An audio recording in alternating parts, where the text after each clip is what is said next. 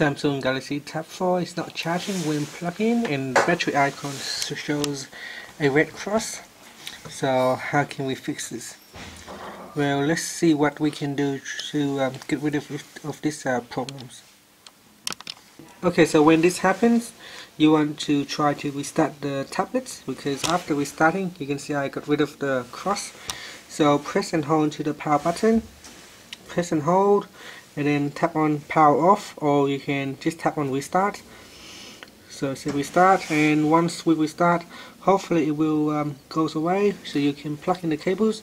Make sure you use the original charger come with the tablet, so the Samsung charger, and uh, make sure that it gives out the right uh, voltage because using the wrong charger could also cause a problem uh, in the long term and hence why you see the red cross on your battery icon on the top of the status bar.